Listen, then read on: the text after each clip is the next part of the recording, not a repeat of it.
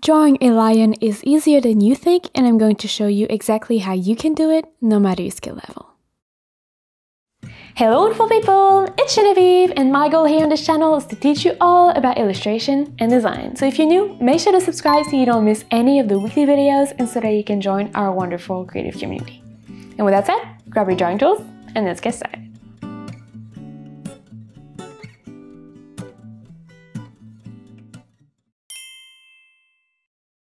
So this video is part 2 out of 2 of some sort of a mini-series in which I go a little bit more in depth on some subjects such as sketching your character, coloring your character, as well as shading your character. So part 1, if you want to check it out, we've created this sketch and I was kind of talking about the basics of sketching. And part 2, which is this video, is going to be more about coloring and shading. And here we're going to do more of a painterly style, so we're just going to start by color blocking the main areas, and then I'm going to teach teach you about the basics of shading. And I'm personally going to be working in Procreate, which is an app on the iPad, but you can follow along this technique using most digital art software. The technique is the same. As long as you have layers, you'll be able to follow along. And you can use this technique with pretty much anything. It doesn't even have to be a character. It could be an object or like, I, I don't know, scenery, whatever. It is going to work. If you do have the sketch from part one though, go ahead and pull it out and we're gonna just go from there. So we've created two sketches. In the first part, a clean sketch and a rough sketch. I personally like to have both on one layer and kind of use that because I feel like it has a bit more of a 3D feel. So you can just merge the two layers together and it's gonna look something like that. And I personally also like to really lower the opacity of my sketch until I can just barely see it before adding the colors.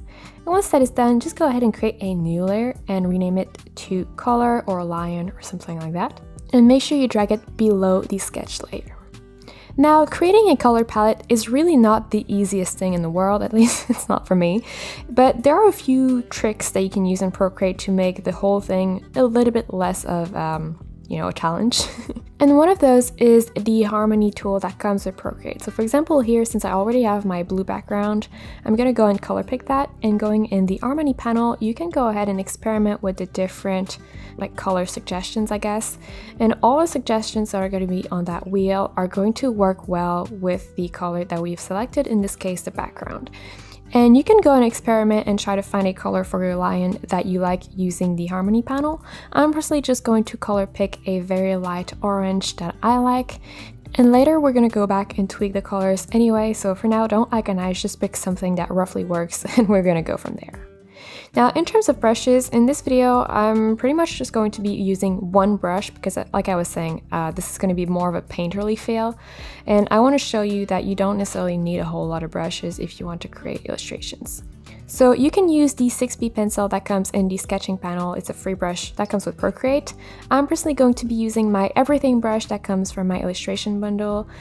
It really is super versatile and it works really well for what I want to do, but it is definitely not essential. You can for sure follow along with the 6B pencil or anything else that you like, honestly. Just pick a brush that you know you're comfortable with. But if you do want to check out the illustration bundle, it will be linked in the description below as usual with a special promo code for the YouTube people. And here at this stage, all we want to do is map out the main section or areas of color with solid color. So you can see here my brush has a little bit of texture to it, so does the 6B pencil, uh, but you don't want something that has too much texture. This is not the point here. I do want to have a little bit of grit, but I want to be able to draw the outline and then fill them in without the color going everywhere.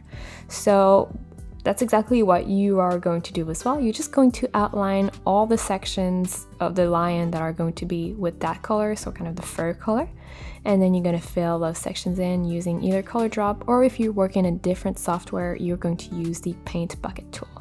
Now, if you're using a different software and you're not exactly sure which brush to use, try to find a brush that is either like a charcoal brush or a pencil brush. These are usually fairly, you know, common in digital art software. So just find one like that and that's going to be good. And depending on the brush you use, you might struggle a little bit with the color filling tool in Procreate, but you can adjust the threshold by just holding your pencil on the screen and then moving it from left to right or right to left, it doesn't matter, until you get the right area colored in with the color. So you're going to do this for all the main colors on your character in my case and probably your case as well on the lion. And I personally like to do it on separate layers first so that I can adjust the colors later with the trick that I'm going to show you soon. So I'm going to do the mane on a separate layer. I'm not going to rename it because I'm just going to merge them later anyway. So for now I'm just going to pick a brown really quickly and later we're going to adjust it. So same thing as for the rest of the body, you're just going to outline the shape and then fill it in using color drop. And it is time for everyone's favorite, the secret password. So if you've watched this find the video, please go ahead and comment shading. We've been doing this for a few weeks now and seriously, it is just so fun. it gives me a lot of insight into how to edit and pace my videos better, which helps me to create better tutorials for you guys. But it's also really, really cool to see the wonderful creative community that we're building here on this channel, especially because you guys know me, but I don't know you. So whenever you leave a comment, I get to see sometimes your name, sometimes your face, and yeah, it's just such a cool thing to see all of you guys. So go ahead and comment the word shading and we'll keep going. So once you're done color blocking your mane, we can actually go and tweak the color like I was telling you by just selecting the layer and going in the adjustment panel here at the top, which is this little magic wand icon, and selecting hue, saturation, and brightness for the entire layer. You're going to have three different options here at the bottom that are going to allow you to tweak your color and kind of experiment uh, in terms of your color palette as opposed to needing to have it you know set from the get-go. You can just kind of try stuff and see what you like. And i really like this trick because it also allows you to find things that you would not necessarily have expected would work well with your illustration. So you can really go crazy and find really cool color combos. And once you're happy with the color you can just merge the two layers that we've created together and just keep going with the color blocking. So in my case here, I'm gonna add the cape and most of the cape is kind of going to be below or behind the lion, I should say. So I'm just creating a new layer, not renaming it either, and putting that new layer behind or below, sorry, below the lion. And again, same thing, just color blocking the cape. This time I'm going with a super bright red. And yeah, I'm personally going to keep this red, I think, but you could go back and use the hue saturation brightness tool again to tweak it and get something that you like. And then you can add kind of a white fur detailing, I guess, to the cape, so the top and the sides. And it's just going to help making it a little bit more interesting and just make it pop from the background a bit more. Now once you're done with that, you could go ahead and merge the color layer and the cape layer together, but since they're completely different elements, for now I'm going to keep them separate and that's going to help with the shading later, but again, you could totally merge them, that would be fine as well. Now I realize here I forgot the tail, so I'm just going to go back on my lion color layer and add the tail real quick. So take your time to color block the main color section of your character, don't get in details though, really just map out the general areas. So feel free to pause the video here and we're going to meet in the next step in which we're going to add a lot more color variation to our color blocks to make them look so, so, so much better than they do right now. So in order to be drawing only in the color blocks that we've created, we're going to activate alpha lock. And you can do that by swiping your layer towards the right with two fingers, or you can just tap on the layer and activate it manually in the menu right here. And what it does, basically, like I was saying, everything we draw on this color layer now is going to stay within the shape that we already have drawn on it. So with that, we can go ahead and pick a different version of our fur color. I'm going with kind of a cream and adding more details. And as you can see here, if I'm going crazy, it does stay within the lion shape. That being said, I'm just going to focus on adding this cream color on the lower half of the face around the nose and the mouth as well as on the belly. And you can see here I'm being really really really really loose. I'm not worrying about it going over the arm or something like that. I just kind of roughly want to map out a little bit more extra color and color variation and texture to make my character more interesting. And you could skip this step altogether if you want, but it definitely does make a big difference in the character in the end. It's just so much more happening. So highly recommend you do it and it's fairly quick. And I'm also going to do it on the mane, making the front part of the mane a little bit more saturated, so more like a orange feel. And here, be careful though, we're not drawing any light or shadow. We're just adding color variation because, you know, if you think of fur, for example, because this is what we're drawing here, fur is not just one solid color. Fur is not made of like uniform plastic. fur is a bunch of different color that changes from one area to the other. So this is what we're working on in this step. We're adding the color variation. We're not adding any shading just yet. So again, feel free to pause the video here to take all the time you need to add as much color variation as you want. Make sure that everything has been colored in. For example, here I forgot to draw the little uh, walking stick. So just get everything in order and then we're going to move on to adding the shading and I'm going to teach you kind of the basics of how that works. And don't forget if you need to add an element on the layer that has alpha lock activated, you need to deactivate alpha lock, otherwise you're not going to be able to add anything else. So the first thing we need to do whenever we want to add some shading to a character is to figure out where the main light source is going to be. And it is optional, but you can go ahead and create a new layer or just draw really lightly on your piece of paper and kind of map out that main light source. So you can draw like a light bulb or a sun or something like that and just position it so you have always a reference of where the light is coming from. So in my case, I'm just going to draw a sun here on the top right of my piece of, well, not my piece of paper, top right of my canvas. You can also add some little lines that kind of show where the light is shining and where it's going to hit your character. So here I'm also pretending that the light is coming from slightly behind the character so that it's not perfectly in line, it is actually, you know, behind the character. And your shadows are going to be on the opposite side of your light. So in my case, the entire left side of my character is going to be shaded. And a very easy way to add shadows when you're working in the digital art software is to create a layer above your color layer. I like to rename it shadow just, you know, so I know what it is. And then you can change the blending mode of this layer. I like to use linear burn, some people use multiply as well. I just think linear burn is a little bit more colorful. And you might want to set the opacity around 50% to get started, but you can always come back and tweak that later.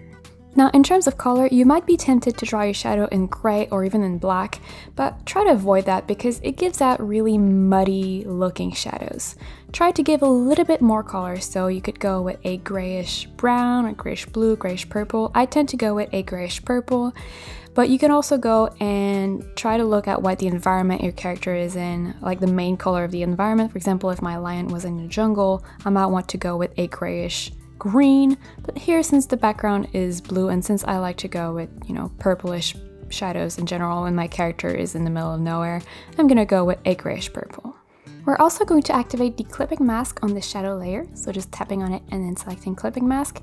And now everything we draw on the shadow layer is going to stay within the shape of the color layer. So it is a little bit like alpha lock, but you know, on a separate layer. That is going to be really, really helpful to draw shadows super quickly. And that's the reason I decided to draw the cape on a separate layer was so that I could add the shadow with clipping mask easier as well. Now in terms of shading, I'm to go and stick with the same brush like I was telling you. All this tutorial I'm to go with this one brush. And I'm to start on the opposite side of the light, of course, just shading what is definitely not getting any light. And here you can go ahead and just do some general color blocking because we're going to refine it later. Now you just want to, again, map out the general shaded area. So I'm gonna speed up the video here, stop talking, let you focus on doing it. Feel free to pause the video or just keep it going so you have an example of what I personally do. But seriously, all you need to do is look at your little sun or your little light bulb that you've drawn on, you know, one part of your canvas and imagine where the light is going and where it's not, you know, hitting your character and then drawing shadows there. So just do that and then we're gonna meet at the next step in which we're going to refine everything and blend everything.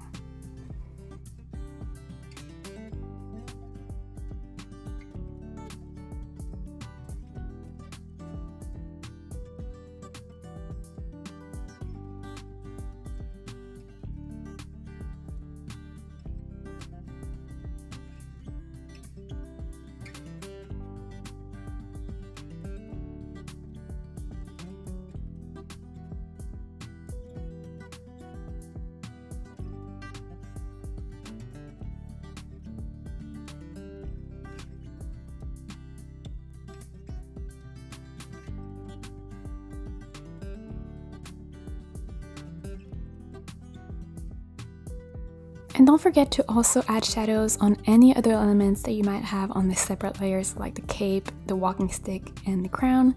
So just creating a new layer, applying it as a clipping mask, and then changing the blending mode to linear burn, multiply, or any blending mode that you might like. Actually, that is, you know, you can experiment with that. Feel free to just play around and see what you like.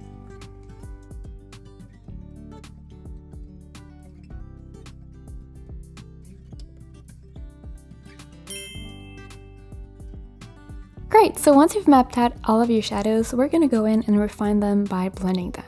So you can either use a super soft brush like the soft brush from the airbrushing panel. I personally want to have a little bit more texture, so I'm going to go and use the um, stucco brush from the painting panel in Procreate. So this smudge tool, what it's going to do is going to allow you to kind of move your color around a little bit, which is going to effectively blend the shadows a little bit more and help you create nice transition. this brush was way too big, I'm just gonna make it a little bit smaller. So you can see here, if you just go over the hard edges of your shadow, you're gonna be able to create some sort of a gradient. Now, with shadows, it is important to have some parts that are really sharp. For example, here the ear is really close to the mane, which means the shadow is going to be really, really sharp and the edge is going to be really clear and defined. You do want to find balance between hard edges and soft edges in your shadows, and I think one really helpful trick to find what shadow needs to be a hard edge and what shadow needs to have a soft edge is really to think is the thing that is creating the shadow close to the object on which the shadow is. So for example, if we think about the ear and the mane, the ear is really, really close to the mane, so the edge is super sharp and clear. But if we look at just the general shading on the rest of the mane and the rest of the lion, that just comes from the fact that there is no sun hitting that space. Uh, there's not a clear object that is close to our lion casting a shadow is just a regular ambient kind of shadow. So these shadows, the edges tend to be way softer. So while you're blending, you might notice that some areas should not have shadows, like here the shadow from the face kind of bled on the mane, so you just, you know, use your eraser and erase that, obviously. And then just go back to blending and refining your shadows. So at this stage here, again, try to keep a good balance between hard edges shadows and soft shadows. This is going to make such a big difference in the final result if you do have both type of shadows instead of just something that is super, super, super, super blended and just weirdly too smooth. So take all the time you need here to experiment with the blending of your shadows. Feel free to pause the video and then we're going to meet in the next step in which we're going to refine everything so that it doesn't look quite as messy as it does right now. And like I was mentioning, you might want to play with the opacity of your shadow layer. You can just experiment and see what you like the most. Here there's really no rule, it is really just a personal preference, so play with that. And once you're happy with the shadows, we're going to add some highlights. Now for the highlights, you are probably going to want to create a new layer above the shadow layer, renaming it to highlights. And we're also going to apply it as a clipping mask so that the highlights stay within the lion color shape so like this. And we're going to change the blending mode this time to add. Now add is a really, really powerful effect and makes your color look like light, so that is what we want. But we want to lower the opacity pretty low, so around 20%. Doesn't need to be precise, but you know, um, otherwise it's going to look overwhelming. And in terms of color, I like to go with a super bright yellowish orange because I'm pretending that my character is in the sun, so something like that. And here, kind of like the shadows, you're just going to look at your little sun reference or light bulb reference and you're going to see where the light is hitting the character. In my case, since it's slightly behind the character, it's pretty much just going to be the edges on the right that are going to be really, really highly highlighted. And you might have noticed in just the first few seconds of drawing, I already went ahead and changed the opacity of my highlight layer. I think I put it around 30%. But whenever you're working, feel free to go and change both the opacity and the blending modes until you find something that you really like the feel of. Here I'm just giving you suggestions. In general, add is a good mood or good mood, a good mode for light, but you might want to experiment with something else like overlay or soft light or something like that. Again, here it's all about finding something that works well with your base color and the light color that you're using. And on this highlight layer, you might also want to go in and start adding some textural details. You can see here on the mane, I'm adding some random little strands of light uh, that don't necessarily make sense in terms of highlights. Like it is not necessarily accurate with like, the physics of, of light, but it does add so much to texture and character building elements that you know you can experiment with that and as long as it is you know fairly believable and looks right it doesn't need to be totally accurate in the scientific sense of, of, uh, of it and you might want to hide your sketch layer for a little bit and just check that everything is, you know, working well and reactivate it. And we're going to move on to adding some extra detail and shading manually. For that, I like to hide the sun, we don't need it anymore, and then merge the highlights, shadow, and color layer. It is not essential, you can keep them separate, but I think it just makes stuff a little bit easier. So just squishing them with two fingers in Procreate, and then deactivating alpha lock so that we can draw a little bit wherever we want. You can also deactivate manually if it didn't work for some reason. And I'm also going to merge the shadow layer on the cape layer. And here it's a question of preference. You might want to hide the sketch layer or keep it on. That's like, again, a question of preference. And here, what we want to do is manually add more contrast and just define some zones a little bit more. So selecting your main tiger, tiger, wow, your main lion color layer, you're going to color pick some sections that are a little bit bland. So here I color picked the shadow area and I just made it a little bit darker, a little bit more saturated, and then manually going in and painting in more details. And again, just pushing in the contrast in some areas. So here we want more of a painterly look, at least I want more of a painterly look, so I'm not gonna go in and add uh, outlines everywhere. But I'm going to add, I guess, partial outlines in the areas where some parts of the body overlap another. So the arm overlaps the body, that's a good example, but you also have, for example, here little toes on the feet that were not defined before. So that's a really good way of defining little elements that were just getting lost otherwise. And it's also a good way of maybe cleaning up some of the edges a little bit and sharpening everything.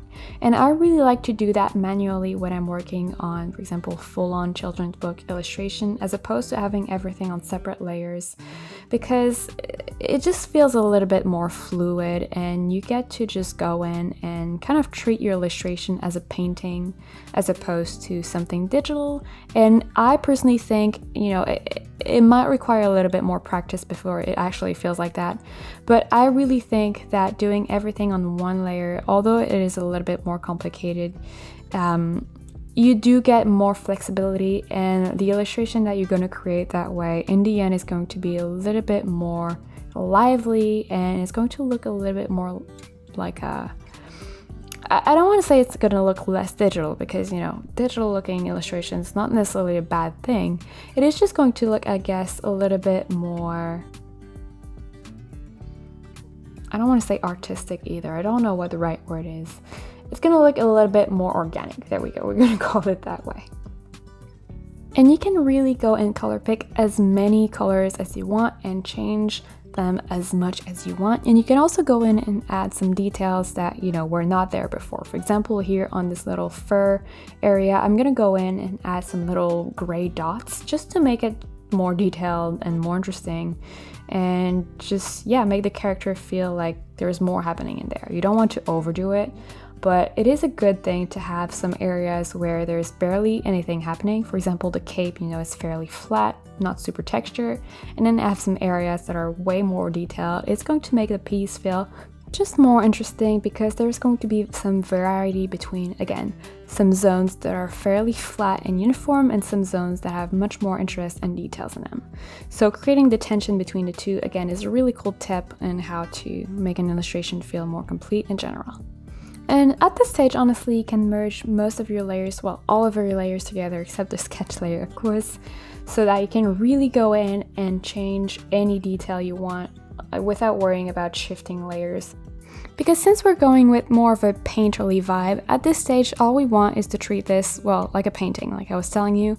And we just want to go ahead, color pick a color, refine the details, add more details, change the shape a little bit, just kind of refine everything by color picking, going in, tweaking something, color picking again, going in, and just building on the base that we've already created to make it look a little bit more interesting and more detailed and more vibrant and just more alive.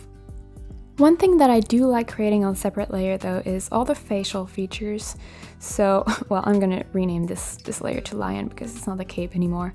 But yeah, I like to create a separate layer for the facial features and picking a really, really dark brownish color, not quite black. I, I just don't like using pure black in my illustrations because then you can add more shadows, you know, you kind of limited that there.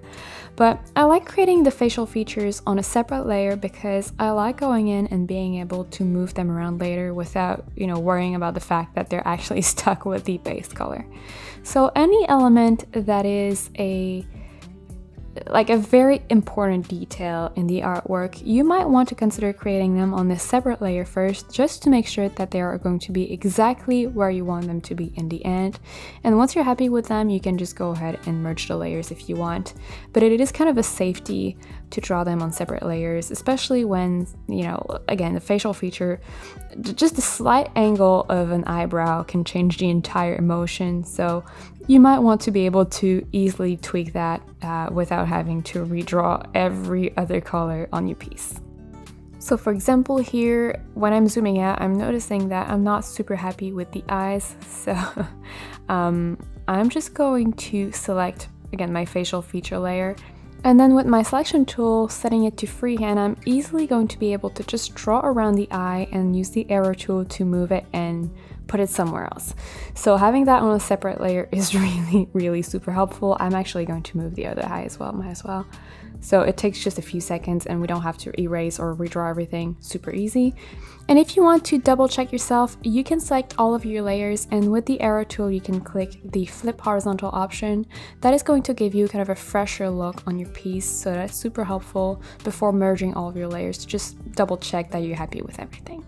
And since we worked on the shading, it is also a good idea to add a shadow below your character just so that it looks like it actually is standing on something and not just floating in the air. So on a new layer that you put below your character and you set the blending mode of this layer to the same blending mode you use for the shadows on your character, so either uh, linear burn or multiply, you can go back to again the same or, or at least similar color that you used for your character shadows and then just sketching a shadow on the ground around your character. Now you can also use the arrow tool, set it to distort and just kind of reposition the shadow and also kind of resize it and rotate it even if you want so that it looks exactly like you want it to be, but it doesn't need to be super precise. I like to have it super rough, but uh, just basically giving this idea of ground and not just a floating character. And without drawing a full-on background, you might want to add little elements to kind of show what the environment is. So in my case, I'm creating a new layer, renaming it tree.